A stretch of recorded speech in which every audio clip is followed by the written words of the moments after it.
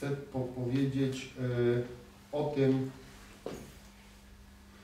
w jaki sposób my mamy myśleć, czyli zmieniać nasze myślenie, bo to jest mega ważne, jeżeli chodzi o trójjedyność człowieka. 1 Koryntian 2,16 Zaczniemy. 1 Koryntian 2,16 Musimy zrozumieć, że myśli Boga są w naszym odrodzonym duchu, czyli to, co Bóg On ma w swoim sercu, to jest w Twoim duchu. Ty już to posiadasz. Ty musisz w ogóle w to uwierzyć. Ty musisz w ogóle na przykład wyznawać i mówić, Panie Boże, ja znam Twoje myśli. Ja znam Twoje poglądy. Ja znam Twoje serce. Ja wiem, co Ty czujesz. W ogóle uwierz to, że masz to w duchu. To masz w duchu. To nie to, Panie, daj mi poznać swoje myśli. Panie, daj mi poznać swoje serce. Panie, daj mi coś tam poznać. W ogóle nie módl się w ten sposób. Módl się z wiarą. Panie, ja mam to. Ty wszedłeś w mojego ducha z całym potencjałem swoim. Ja wiem, czego Ty chcesz. Często ludzie, no mówimy tak, wiesz, czego Pan chce w tej sprawie? Ja mówię, wiem. A w ogóle, a w ogóle wiesz, że nie wiem. Ale ja wiem. Ja mówię, ja wiem, wiem, wiem. A co Pan, a co Pan chce? Ja mówię, to na razie Ci nie mogę powiedzieć. Bo ja teraz, wiesz co ja muszę chodzić? Ja muszę w wieżę teraz chodzić. Ja sobie pochodzę wieżę. Ja wiem, że ja wiem, bo ja jestem pewny, że ja wiem. Tylko, tylko jeszcze tego to do realu nie doszło. Mnie tam nie wyszło na, na wierzch. Zaraz mnie wyjdzie. Bo ja już znam tą metodę. Ten, ten tekst, że myśli Pana to nie myśli nasze, to jest tekst, który nas nie obowiązuje. Nas obowiązuje tekst, że jesteśmy myśli Chrystusowej. Ja się pytam, jeżeli jesteśmy myśli Chrystusowej, to gdzie jest miejsce na modlitwę pod tytułem Panie, daj mi po poznać coś. Panie, powiedz mi coś. Powiedz mi to, Panie. W ogóle uwierz, że wiesz. W ogóle zacznij tak myśleć. Przestań szukać odpowiedzi. Powiedz, uwierz, że Panie wie. Panie, uwielbiam Cię, że wiem. Aleluja! Już wiem. Ja w ogóle jak zacząłem rozmawiać z ludźmi, ogóle ja na początku to czułem się taki nieswój. Ja mówię, kurczę, mówię, i na jakie ja wody wchodzę w ogóle, ty? Przecież ja się w tym w ogóle zaraz utopię. To są takie, w cudzysłowie, mam takie wewnętrzne obietnice bez pokrycia. Rozumiesz?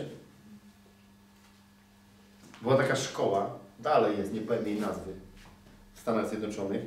Jak zaczęła się, jak zaczęli ludzie chodzić w wieże. Oczywiście wykładowcy nie wiedzieli o tym, że oni tak robili. Ale grupa pierwszych studentów, jak się rozbujała w wieże, rozumiecie, to zaczęli w ogóle ogłaszać, że im wpływają pieniądze na konta. I zaczęły im wpływać pieniądze na konta. Wchodzili na konta, rozumiecie? I tam było 2000 dolarów więcej, 3000 dolarów więcej. I to nie były jednostkowe przypadki. Cała grupa z tej szkoły. Rozumiecie? Zaczęli mówić do swoich kont. Wiecie, dzisiaj się do ludzi byli też inni.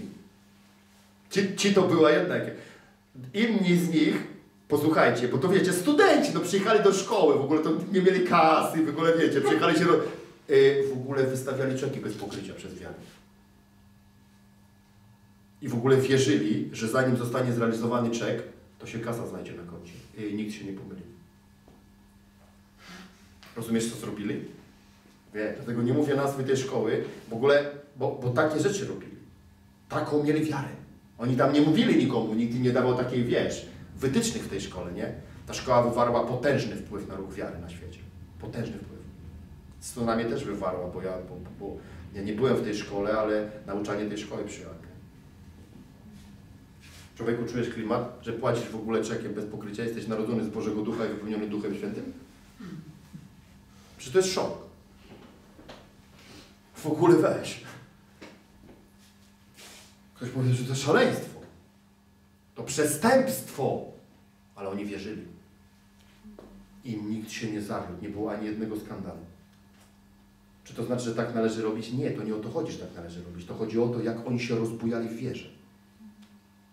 Jakie mieli bujnięcie, rozumiesz?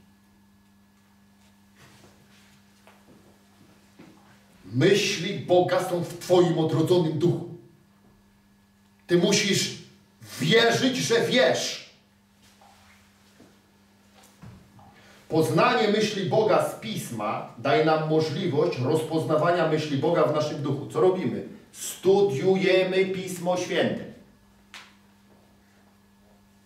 Studiujemy Pismo. No nie może być ani jednej osoby wśród Was, która nie będzie miała Biblii w jednym palcu, No, no nie ma, że Ty nie wiesz. Tabliczkę mnożenia znasz? Znasz. Biblię masz tak znać. Tu nie ma, wiecie, ja wiem, gdzie jest miejsce Biblii, ja to wszystko ja was o tym uczę, ja, ja mówię, natomiast to nie zmienia postaci, że to jest Pismo Święte. Tak? To czytaj Pismo. To nie chodzi o to, że ty, że ty będziesz się tym w ogóle, że będziesz się tam układał pewne rzeczy inaczej niż Cię Bóg prowadzi. Nie, bo to Duch Święty, żyjemy według wewnętrznego przekonania, jutro będę o tym uczył na pewno, bo, bo, bo mamy na to czas. Fajnie się to poskładało czasowo. Więc będę o tym mówił, ale czytamy Pismo, bo wtedy, kiedy my czytamy te słowa, kiedy my je przyjmujemy, to w nas powstaje taka przestrzeń, że możemy rozpoznawać w naszym duchu myśli Boga. Więc łączymy te rzeczy. Myśli Boga są takie, jak On. A więc myśli Boga to Bóg. Tak jak słowa Boga to Bóg, tak myśli Boga to Bóg. Myśl Boga to jest Bóg. To taki Bóg jest. Taki jest jak ta myśl. Na przykład Bóg mówi, nikogo nie znamy według ciała. To taki Bóg jest. On nie zna nikogo według ciała. Nie wiem, o co ci chodzi. Tak? Panie, jak się mam modlić o moją mamę? Tak, tak samo jak o Henka z poczty. No o co ci chodzi? Baje to jest moja mama, ale o co ci chodzi? Nie wiem o co ci chodzi. Mama moja! Ale nie wiem o co chodzi! Powiedz po mojemu coś, mówi Bóg. Panie, nie znam nikogo według ciała. No dobrze, no. To jak się będziesz modlił o mamę? Jak o hejka z poczty? Amen, powiedział Pan. Taka rozmowa. To jest rozmowa, która w ogóle przynosi sens. A jak ta rozmowa jest inna, Panie, jak mam to robić? Co to za pytanie, jak masz to robić? Jak to to jest? To jest mama. Nie, to nie jest mama. To osobnik płci żeńskiej. E, powiem jeszcze inaczej. To człowiek. To człowiek. A wiesz, jak się modlić o człowieka? No wiem, Pan. No to się mówi. To człowiek. Co mnie obchodzi, że to jest Twoja mama?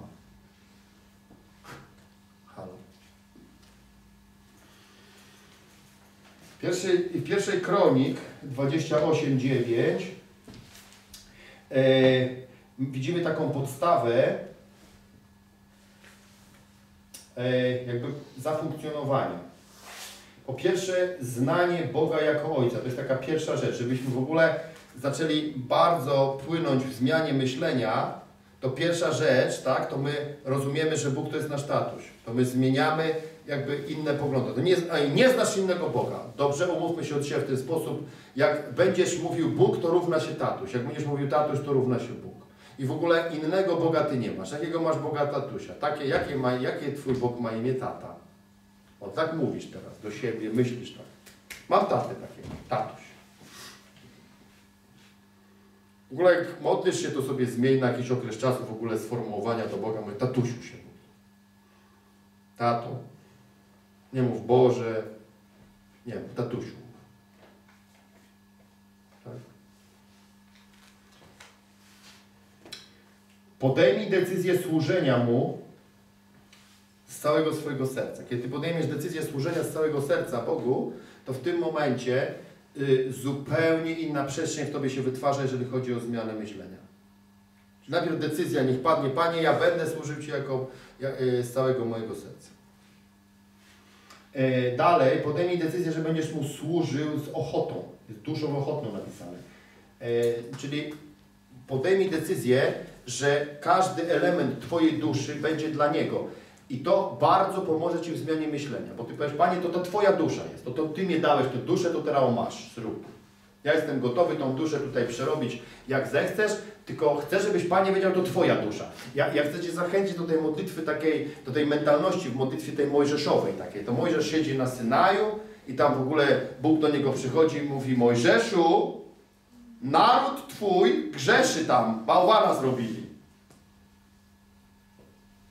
wytnę ich do nogi, a z ciebie powołam drugi naród. Taka propozycja pada tam na Synaju. Nie wiem, pamiętacie? Tam jest ciekawa propozycja też, nie? Ta w ogóle ciekawa postać ten Bóg. Mój wytnę ich. Wyprowadził ich na pustynię, teraz taka propozycja spada. Może z ciebie zrobię nowe pokolenie. I chcesz czy nie chcesz? Dość intratna sprawa. I najlepszy tu Mojżesz jest w tym temacie. Panie, to twoi ludzie tam są. A i Bóg znowu, wiesz, Mojżeszu to twój lud. A Pan mówi, panie, to twoi ludzie. Ty, jak ja to zaskoczyłem, mówię, ale jazda. A może w ogóle mówi, to nie moje, to twoje. I on odpowiedzialność, mówi, to twoje jest. Co nam to pokazuje? Panie, to jest twoja dusza. Ja to przychodzę do Boga i mówię, to twoje jest. A ja się nie prosiłem na świat.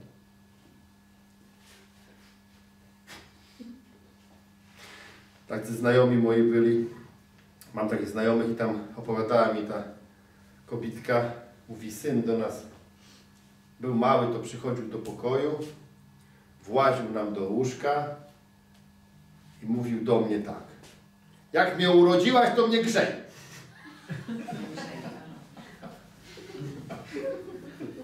I koniec. No nie tam ładował, nie pytał o. Mówi, jak mnie urodziłaś, to mnie grzej teraz. Mentalność dziecka. Bądźcie jak dzieci, nie? My to Twoja dusza, Panie. Twoja dusza dałeś mi taką duszę, tutaj mam, to teraz ja ją Tobie poświęciłem, dla Ciebie będę sobie myślał, dla Ciebie będę czuł, wszystko dla Ciebie sobie w tej duszy i to jest płaszczyzna, która pomaga nam w zmianie myślenia. Pamiętacie, ja Wam pokazuję tę płaszczyznę na razie, bo to jest mega istotna sprawa. Czwarta rzecz jest taka, że szukaj Go, a da się znaleźć. To znaczy, że ja, Panie Boże mój, będę parą na Ciebie, przemy na Boga. Dlaczego przemy na Boga? Dlatego, że On potrzebuje tego parcia? Nie, On nie potrzebuje naszego parcia, to my potrzebujemy tego parcia. Żebyś Ty mógł się rozwijać prawidłowo, to musisz się nauczyć przejść na Boga, bo to Tobie jest potrzebne. Bogu nic nie jest potrzebne. Bogu nie jest potrzebne nasze klękanie, Bogu nic nie potrzebne. To nam potrzebne. Klękanie, leżenie na twarzy. Yy, rozumiesz o co chodzi? Nam potrzebne. Nam, nam, nam, nam, nam. Nie jemu. Nie jemu. To nam. My musimy złamać pewne sprawy w naszym życiu. To tak samo jak post nam potrzebny. To nie jemu, tylko nam. A więc szukamy przemysłu. Yy, I ostatnia rzecz z tej płaszczyzny taka decyzja o nieopuszczeniu Go. To nie opuszczę Cię, Panie. Ja będę szedł Twoją drogą zawsze. Nieważne, jak Ty czujesz, jak Ty to mówisz. To jest nieważne, co Ty czujesz. Chcę, żebyś takie obietnice składał, żebyś takie rzeczy mówił. Nie opuszczę Cię nigdy. Taką płaszczyznę sobie robisz w głowie do zmiany myślenia.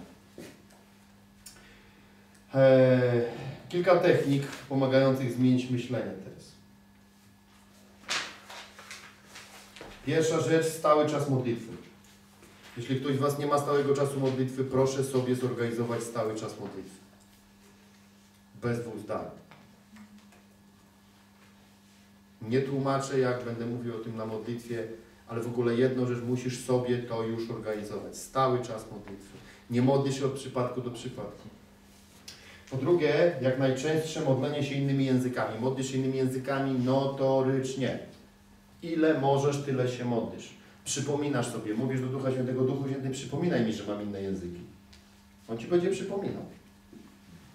Że sobie przypominał, że znasz inne języki. W ogóle będziesz taki zdziwiony, jak ty inny, śpiewaj w tych innych językach, rapuj w innych językach, rozumiesz o co chodzi. Napisz jakiś tam wiersz w tych innych językach, wiesz o co chodzi. Potem przez wiarę go przetłumacz. Wiesz. Jeszcze będziesz zdziwiony, coś tam nawypisywał w ogóle. Zapisuj inne języki, wiesz. Był taki okres czasu, że ja modliłem się innymi językami, zapisywałem, a potem tłumaczyłem to i kazania miałem. To nie były jakieś składne kazania, takie wiecie, że ja mówię, tylko miałem takie myśli w ogóle wrzucane. Przetłumaczyłem, to mówię, o kurczę.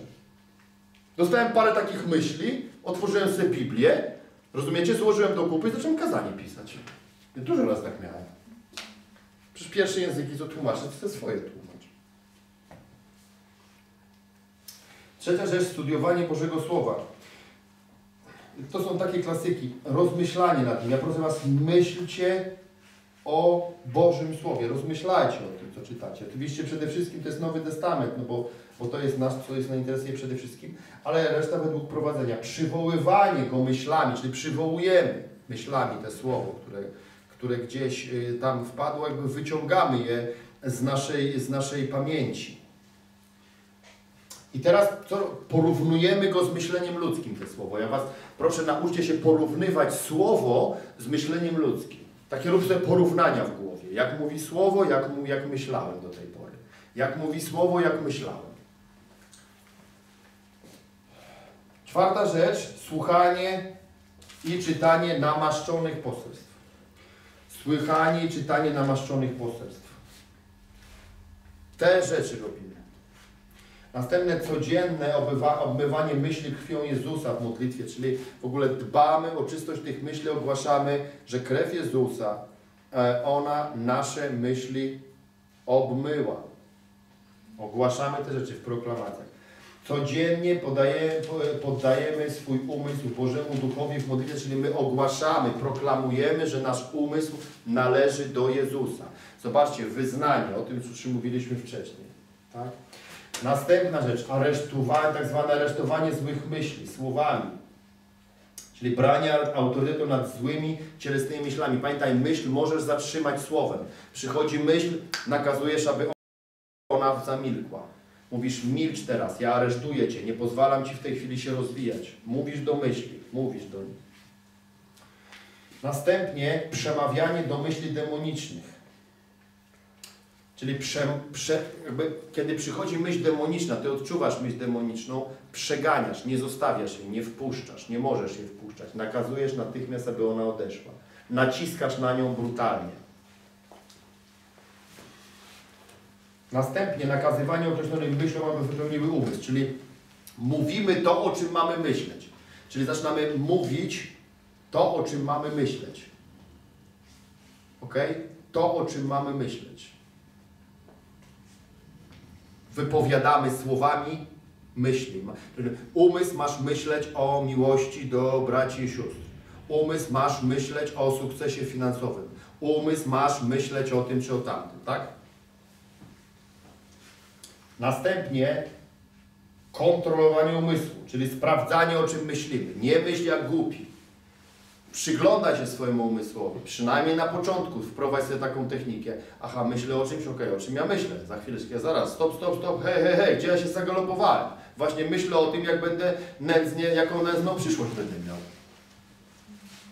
Kurczę, gdzie ja poleciałem? Albo zaraz, przecież ja myślę o przeszłości. Co ja tam w tej, o tej przeszłości? Gdzie ja tam się grzebię w tym kanałku jakim? Se wspominam jakieś tam fajne rzeczy, wspominam Ktoś y, szuka sobie męża, szuka sobie żony. Co robi? Y, wspomina sobie, bo on miał kiedyś związek jakiś. Ten związek miał i on... Ja takim człowiekiem rozmawiałem, z chłopakiem takim jednym i on no, w ogóle opowiada mi, że on wspomina ten związek i ma trudność. Ja mówię, to przecież to jest opresyjne. Co z tego, że miałeś fajne chwile? Wąt, diable. Ja kontroluję to.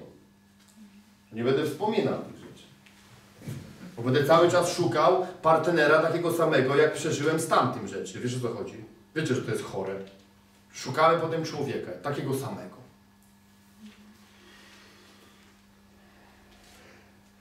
Dalej, unikanie przyjmowania cielesnych toków myślowych.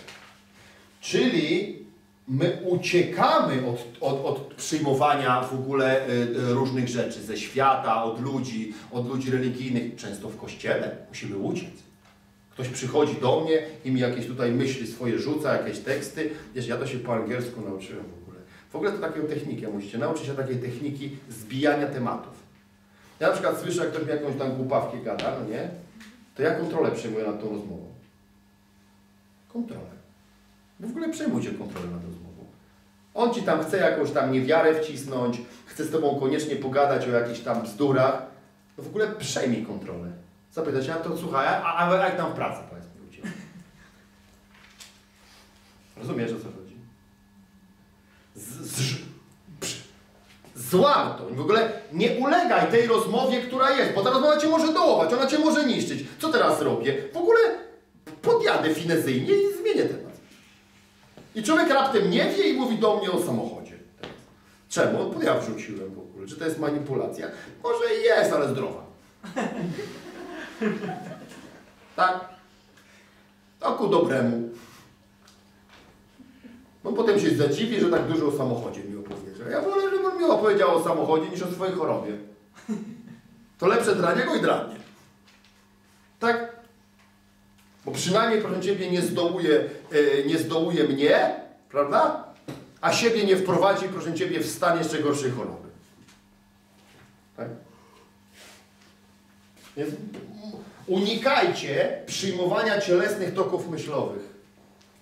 Jeżeli, jeżeli możecie zbić rozmowę, to zbijcie. Jeżeli nie, to od, odcinajcie się, odchodźcie. Gdzieś tam idzie, bo wiesz, zaraz muszę iść tam, y, muszę iść gdzieś. Gdzieś tam muszę iść, nie wiem, gdzie mam iść teraz. Pójdę gdzieś, pójdę. Siku mi się, bardzo mi się chce siku. Nie mogę teraz opanować, wiara mi siadła. Niestety muszę się odsikać. Cześć, cześć, cześć, cześć, cześć. Bo to będzie zdrowsze dla Ciebie. I dla niego, rozumiesz? Przecież nieraz miałem, ktoś do mnie gadał przez telefon, zaczynam plotkować, wyłączyłem telefon. Zadzwonił drugi raz. No nie? Drugi raz zerwałem. Mówię, coś nas rozłączyło, mówię. Trzeci raz parę zapomniał. Ja, a ja już dalej z nim gadam, wiesz, już potem on zapomniał w ogóle o tej plotce w ogóle, wiesz. Ja no... Prosta technika. Czerwona słuchawka. Stryk. Dwa razy mu zrobisz, zapomnij. Wszyscy szczęśliwi, człowieku. Jedynie diabeł nieszczęśliwy. To nie są złe rzeczy. Następnie niewypowiadanie toków myślowych, gdy nie trzeba. Czyli my nie wypowiadamy w ogóle różnych toków myślowych, jak nie trzeba. To nie, to nie mówimy. Nie, nadawi, nie nadajemy pewnego biegu. Na przykład w pracy jesteście i wy musicie rozmawiać o różnych technicznych sprawach, ale jak nie, jak nie musisz, to nie rozmawiaj. Ok? To jak e, rozmawiaj o tym, co ma sens. Niech Twój umysł słyszy sensowne rzeczy, on się będzie zmieniał wtedy. W pracy wiadomo, no musisz, ale nie przynoś pracy do domu. Nie wprowadzaj jej w relacje. Eee, I e, taka ostatnia rzecz tutaj, potem jeszcze jedne takie, pokażę Wam wskazówki. Mm, Wypowiadamy, wypowiadamy myśli Boże. Wypowiadamy myśli Boże. Ty- Tyle myśli, które w sobie już rozpoznajemy, to wypowiadamy. Wypowiadamy. Na przykład przychodzi myśl, na przykład e, taka myśl, Bóg jest dobry. Taka myśl przychodzi. Taka myśl zajmie, Bóg jest dobry. Co robimy? Wypowiadamy tą myśl, Bóg jest dobry. Co robimy? Śpiewamy sobie, Bóg jest dobry. Coś, rozumiesz o co chodzi? Zaczynasz coś robić z tą myślą, zaczynasz ją nazywać, e, uwalniać, wtedy to się utrwala. To jest utrwalacz. Wypowiadanie tych myśli to utrwala. Po prostu. Emocje wpływają na myśli, więc y, myślimy, y, pracując nad układaniem emocji. Y, emocje wpływają, ale kiedy my myślimy, to y, układamy sobie te myśli, to te emocje się delikatnie będą, bo one są słabsze, emocja jest słabsza. Czyli ona wpływa, ale ona y, wycofa się, kiedy będziesz zmieniał myślenie. Nie bój się, że ona jakoś cię ogarnie, ta emocja. No ona nie ogarnie. Zmienia myśle, zmieniaj myślenie mimo takiego naporu emocjonalnego. Nie bój się, że ten napór jest, bo ten napór się y, będzie zmniejszał. On jakby...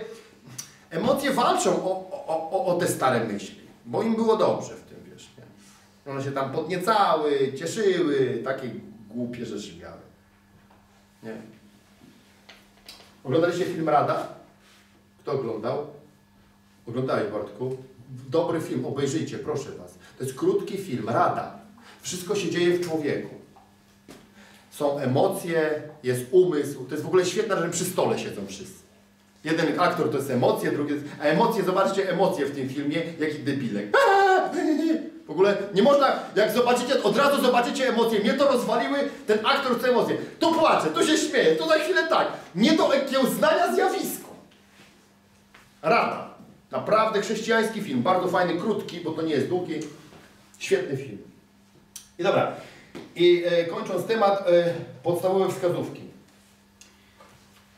Po pierwsze, nie rozmyślasz nad przeszłością. Nigdy. Następnie nie wspominasz upadków. Nigdy. To są wskazówki bardzo ważne dla Ciebie. Po trzecie, myślisz o sobie tylko z miłością. Jak o sobie myślisz, to tylko z miłością. Jak myślisz inaczej, gromisz.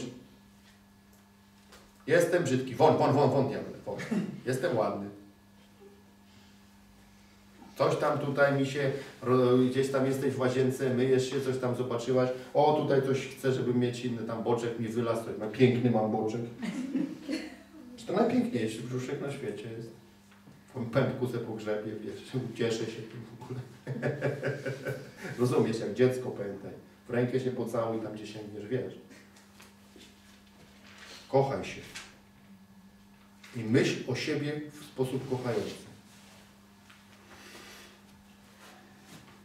Po czwarte, nie rozważaj czyichś błędów. Nie wolno Ci rozważać czyichś błędów. Szczególnie w Kościele. Jak jakiś błąd ktoś popełnia i Ty zaczynasz myśleć o tym błędzie, od razu gromisz. Won, won! Diable, to nie jest moje. Każdy swój ciężar poniesie. Ja nie noszę ciężarów czyichś. Następnie, nie narzekaj w myślach. Zakaz narzekania. Nie wolno narzekać. Przy zmianie umysłu jest zakaz narzekania. Nie narzekamy. Narzekanie traktujemy jako opresję. Przeciwieństwem narzekania jest dziękczynienie. Co robimy? Dziękujemy. Jak masz chęć na coś narzekać, na przykład coś Ci nie wyszło, nie wiem, coś Ci się rozlało, coś Ci się popsuło, tak? To natychmiast myślisz o czymś, co Ci się udało. Co jest fajne, co jest dobre. Więc nie narzekamy. Dalej, myśli lękliwe atakujemy natychmiast i gwałtownie. Jeżeli będzie przychodził lęk, pamiętajcie, musicie być bardzo brutalni i natychmiast działać. Zero litości dla lęku. Od razu gromimy, wjeżdżamy z całym potencjałem, jaki posiadamy. Ponieważ lęk to jest organiczna konstrukcja i on bardzo szybko zaczyna wpływać. On jest kurcze jak rak. On leci. Już opanował. Od razu go rozwalasz na dzień dobry, nie? Dalej, myśl o pozytywnych cechach ludzi, którzy Cię otaczają. Bardzo ważna rzecz. Ludzie, jacy Cię otaczają, myśl o pozytywnych cechach. Patrzysz na człowieka, pozytywna cecha. Jakaś. Zobacz, czy sobie dobre ubranie dobrał, czy ma fajną fryzurę, czy ma miłą buzię, czy sznurówki dobrze zawiązane. Wiesz o co chodzi? Pozytywne cechy. Wiesz? Pozytywne. Ja cały czas się w ludziach dosypuję pozytywnych cech. Cały czas. I myślę o tych cechach sobie później. Ja negatywnych cech, mnie nie obchodzą negatywne cechy. Szczególnie do tych z Was mówię, którzy macie rozwiniętą perspektywę proroczą bardziej niż inni. Rozumiecie? Pamiętajcie, zmorą proroka jest oglądanie rzeczy złych. Prorok ogląda rzeczy złe. Prorok nie może rozważać rzeczy złych. To, że widzisz rzeczy złe, tak? To nie oznacza, że masz rozważać rzeczy złe uczysz się przekierowywać myśli na rzeczy pozytywne. Zawsze.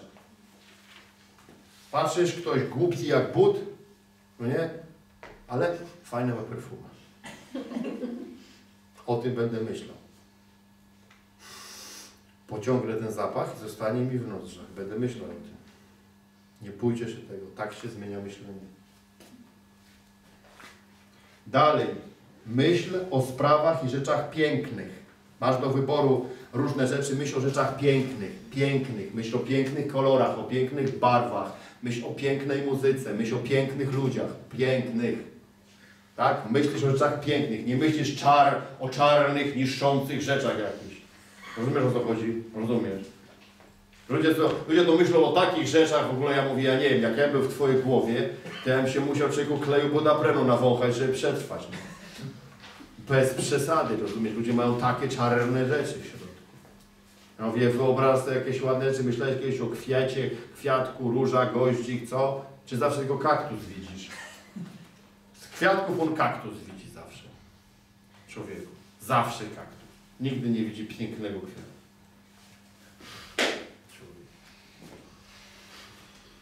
Następnie zmartwienia eliminuj natychmiast poprzez wiązanie ich wyznawanie adekwatnych prawd Bożych i uwielbienie. Zmartwienie to Twój wróg. Przychodzi zmartwienie, co robisz? Związujesz, wyznajesz adekwa- adekwatną prawdę Bożą, Bóg mnie nie zostawi, nie opuści, tak? I uwielbiasz. Następnie ustawicznie przywołujesz myśli o Bożym Ojcostwie, dobroci, mocy, władzy i sprawiedliwości krzyżowej. Ty przywołujesz te myśli cały czas. Jak nie masz o czym myśleć, to myśl o tych rzeczach. O tym, że Bóg jest tatusiem, że jest dobry, że mocny, że posiada władzę, że na krzyżu wymiana nastąpiła. Rozumiesz? że w ogóle myślisz o tym i rozkręcasz to wszystko w sobie. Rozumiesz? Całe filmy sobie wyświetlasz. Tak zmieniasz myślenie. Dalej. Koryguj podległe Ci otoczenie wyznawaniem Bożych myśli. To znaczy, kiedy znajdujesz się w jakimś środowisku, tak? To już ogłaszaj do tego środowiska rzeczy, które chciałbyś, aby to środowisko robiło wobec Ciebie. Ludzie są wobec mnie przyjemni, ludzie są sympatyczni, ludzie nie opowiadają mi głupot, ludzie mnie nie infekują, Panie, halleluja, a jacy to mili ludzie są wokół mnie, a jacy sympatyczni, życie by za mnie położyli, w życiu o mnie źle nie myślą i nie mówią. Tak sobie robimy środowisko. Wypowiadamy środowisko. Potem się nie, rozumiesz o co chodzi? Że nie zdajemy się na środowisko. No kto by się na środowisko zdawał? Ja tam zwariował chyba, jakiem się zdał na środowisko. Następnie konsultuj swój umysł ze swoimi mentorami duchowymi. Ty musisz mieć duchowych mentorów. Musisz mieć duchowego mentora, z którym konsultujesz umysł. To, że jesteś w kościele, to to jest za mało. Musisz mieć mentora duchowego. Jeżeli Bartek jest pastorem, na przykład, to, to, to za mało, że on jest dla Ciebie pastorem, on musi stać się duchowym mentorem. Czyli Ty musisz z nim konsultować umysł. Nie życie swoje, tylko nie służbę, ale musisz się na przykład spotykać z nim, tak? I opowiadać mu swój umysł. To jest to. Ja tak działam z ludźmi. Ja tak działam z ludźmi. Ludzie ze mną siadają, w człowieku i to jest godzina po godzinie, ja mówiłem, przychodzę w środę rano, tak? Do 20 od samego rana mam spotkanie jedno za drugim? Są różnego rzędu spotkania. Jedne są terapeutyczne, inne duszpasterskie, inne e, mentoringowe, różne. To nie ma, rozumiecie? Ale ludzie opowiadają mi umysł swój, tak? A wiecie co ja robię? W ogóle ludziom swój opowiadam. Naprawdę. Ja sobie znalazłem sposób na to. No. W ogóle ludzie znają mój umysł, nie? Bo ja podczas tych moich spotkań z ludźmi, ja na tym korzystam. Bo ja się przed nimi wylewam w ogóle, wiecie co. Naprawdę, że ludzie to w ogóle znają takie w ogóle zakamarki z mojego życia różne, nie? Wiesz, czasami to mówię tylko weź, mówię, kurczę, nie powiedz innym ludziom, nie? Wiesz, ufam tak, ufam w ogóle, ja uważam, że to, jest, że to jest w ogóle dla mnie to jest bardzo, ja jestem taki wyluzowany w związku z tym, wiesz? Ja to, to rzadko o czym ludzie nie wiedzą z mojego życia.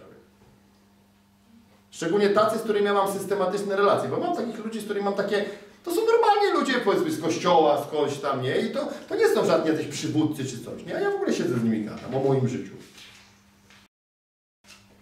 Tak? Bo to, bo to jest ważne. Konsultuję swój umysł. Umysł trzeba konsultować.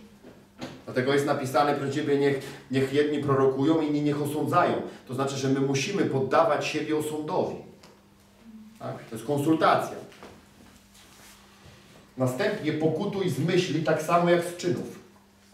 Pokutujemy z myśli tak samo jak z czynów. Posłuchaj, czy ty komuś urwiesz głowę w swoich myślach, czy w realu, wyobraź sobie, że nie ma znaczenia. Co to ma za znaczenie, że kogoś zabiłeś w myślach, czy zabiłeś w realu? No tylko tyle, że tutaj nie musisz trupa schować. Tak? Tutaj byś musiał, wiesz co zrobić, gdzieś go zakopać pod gruszką. A tu nie musisz. Bo sobie wyobrazisz gruszkę i dół. Już go pochowałeś. Grzech ten sam. Grzech ten sam. Grzech na poziomie myśli jest takim samym grzechem jak na poziomie ciała. Ten sam grzech. Następnie uciekaj z takich miejsc i od takich osób, które infokują Twój umysł. Zrywaj się. Jak tylko możesz, zrywka. Tak? To niepotrzebne jest Tobie. Nie, pa- pamiętaj, nie każdemu usłużysz. Pamiętaj, nie każdemu przetłumaczysz. Są takie w ogóle osoby, które nie chcą pomocy, tylko chcą Cię zainfekować. To mogą być narodzone z Bożego Ducha, wypełnione Duchem Świętym osoby, ale mogą być tak poranione, rozumiesz, że zachowują się jak wampiry energetyczne. Co trzeba zrobić? Zbierać! Gdzie wy są? Bo oni nie chcą od Ciebie nic, oni chcą postać, tylko krew Twoją. Ja już się te, zobaczyłem to przez lata, są ludzie, co nie chcą po prostu. Następnie chroń swój umysł krwią Jezusa rano, na noc i chodząc w światowe miejsca. Krew Jezusa ogłaszana nad umysłem rano, na noc i chodząc w różnego rodzaju światowe miejsca. Ucz się tego. Następnie unikaj treści filmów i obrazów o charakterze lękliwym, wulgarnym, okultystycznym, manipulacyjnym. Unikaj tych rzeczy. Kurczę, oglądam kiedyś serial jakiś leciał. Oglądam serial, jakiś serial, taki zwykły serial, chyba jak miłość czy jakieś, jakieś coś. Ja posłuchałem tego przez minutę chyba. Ja mówię, kurczę, lepiej horror by było obejrzeć, taki co był, urywają. Piła mechaniczna 16 na przykład. Tam człowieku była taka manipulacja uwolniona w przeciągu minuty przez taką babę jedną, że to szok. Mówię, Boże kochany, i to leci w południe w telewizji, a to przecież jest dramat w ogóle człowieku. Jak ona tam kręciła, manipulowała innymi ludźmi. Unikaj tego, bo to cię będzie infekować. Ty wszystko możesz, ludzie, wy wszystko możecie. Pytanie, czy to jest dla ciebie pożyteczne. Czy to jest tak, że ty sobie idziesz, odkręcasz ten telewizor, "Eee, bo ja wszystko mogę, w tym, który masnia w Chrystusie, proszę ciebie obejrzę se klan. A potem się dziwisz, proszę ciebie, jakieś do mnie demony przyszły, nie wiem o co chodzi. Ja mówię, jak to nie wiesz o co chodzi? Obejrzałeś klan. Poprawiłeś złoto polskimi człowieku, czy jeszcze inną szarańczą. Rozumiesz, że teraz ty nie wiesz o co ci chodzi. Bo raptem ty przed chwileczką yy, chodziłeś w takim namaszczeniu, a teraz ty chodzisz i, i wiesz, nie wiesz o co chodzi na przykład. Tak? Klan załatwił na tą użytek. Przedostatnia rzecz. Ustawicznie dziękuj za wszystko, wyznając różne elementy. Czyli nie dziękuję Ci Panie, tylko dziękuję Ci za to, dziękuję Ci za to, dziękuję Ci za to, dziękuję Ci za to, dziękuj. W ogóle będziesz też widział, co Ty masz. Zobacz, jaki Ty posiadasz w ogóle skarb od Boga. I ostatnia rzecz. Natychmiast wybaczaj, gdy zostaniesz zraniony. Wybaczaj natychmiast. Nie jutro, nie za tydzień, tylko natychmiast. Wybaczamy natychmiast. I to są takie wskazówki, przyjaciele, do zmiany myślenia. Bardzo Was proszę, żebyście te rzeczy stosowali. Wiecie, to są bardzo precyzyjne rzeczy. Ja Wam daję precyzyjne rzeczy, więc chciałbym, żebyście je realizowali, bo tutaj tak naprawdę nie ma co tutaj się domyślać, bo ja Wam nie zostawiam takiego elementu domysłu. Bo to, to już nie są nauczania domysłowe. Ja tylko znaczy do ludzi mówię, weź to zrób. Weź idź to zrób. To tak działa, zestaw to sobie. W ogóle módl się o to, żebyś płynnie wprowadzał w życie te rzeczy, krok po kroku. Twoje myślenie będzie się zmieniać. Ojcze, dziękujemy Ci za dzisiejszy wieczór. Ojcze, ja chcę, żeby Twoje słowa wykonywały pracę. Dziękuję Ci, że one będą wykonywały pracę. Dziękuję Ci, że ludzie wydadzą stukrotny plon, Ojcze. Ojcze, ja zabezpieczam te słowa Twoją krwią. Ja ustawiam asystę aniołów wokół ludzi. Ja mówię, że nic im nikt nie wykradnie, nic nie zmarnieje, nic nie zostanie przygniecione. W imieniu Jezusa.